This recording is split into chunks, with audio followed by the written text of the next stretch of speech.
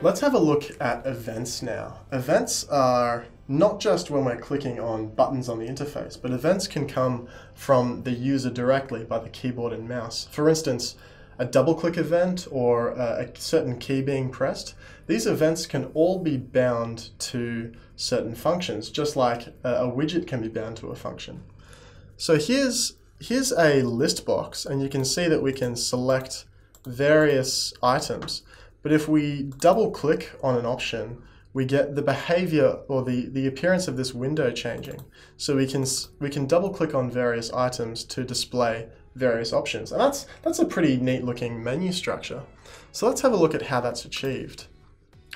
Over in the script, we've got the same old imports, the same old definitions. We create some frames.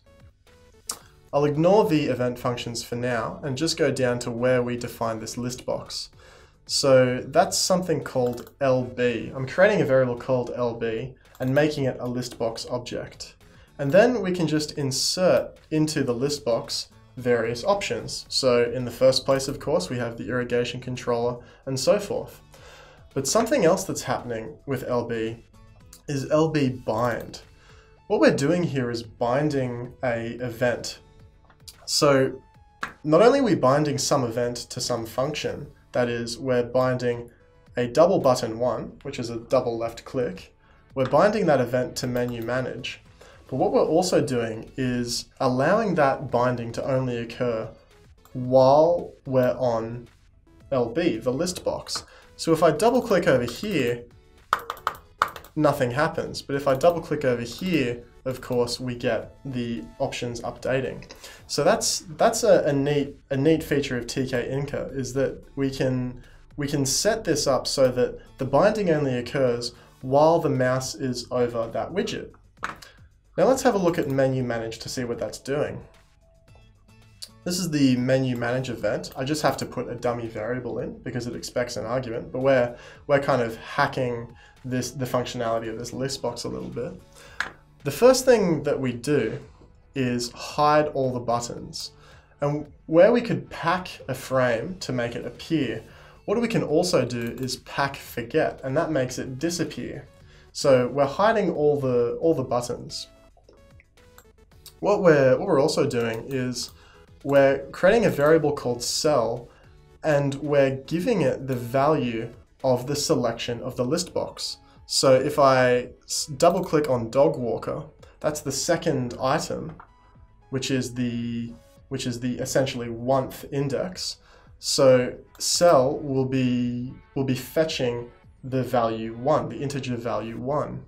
So every time we double click on the list box, the variable cell is being updated with the, the index of whichever item we double clicked on we hide the frames, and then we do a bit of an if-else chain. We, we do this chain to show the relevant button. So if we've clicked on the, the first or zeroth entry, then we're going to show the irrigation frame, which is the on-off. And if we have selected the second, which is the oneth, then cell will be returning a 1 in its integer. Now the reason I have to use this square bracket notation is because cell is not just some integer, it's actually an object containing a bit of other information, but the zeroth entry in cell is the, is the index of whichever selection was being made. And that's, that's essentially how you could, could hack this list box into a, a cool little efficient menu structure. So if we were to look at how this this uh, these buttons are appearing and disappearing, we've created the menu frame and that's always packed. But then we've created the irrigation, dog, and calculator frame. And we only pack and unpack those inside menu manage. So that, that changing of what items are visible only occurs during menu manage. And of course, the buttons that are associated with each of those, they're packed into the relevant frames, the irrigation, the dog, and the calc frame. So we're able to hide and show two buttons at a time, not by individually uh, unpacking or, or pack forgetting those buttons, but by pack forgetting the frame that those buttons were packed into. Now just for a quick demonstration, let's have a look at this line of code here. we've got a commented out LB bind line. So let's let's uncomment that. You can use Alt 4 to uncomment. And let's comment the other bind uh, that was already running with Alt 3. So now we've bound double button 1 not to the function menu manage, but to callback.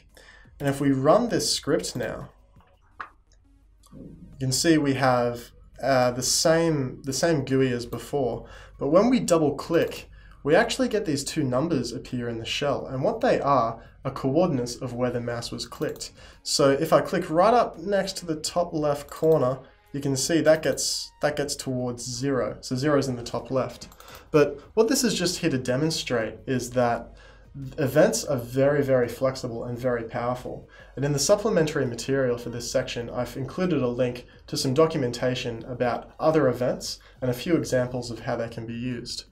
So this, this event that's being triggered now, callback, let's have a look at that function. Callback is being triggered by double button one. So that is that double button one is the event that's being passed to call to callback, which means that event is essentially all the properties of that double button click, of that double uh, double click on the one button, sorry. So what we can do is that we can access various properties of that, like the x and y coordinates, and they're just being printed straight to the shell. So you can see that's a really, really easy way to extract some mouse coordinates on a double button click. And that wraps up chapter four.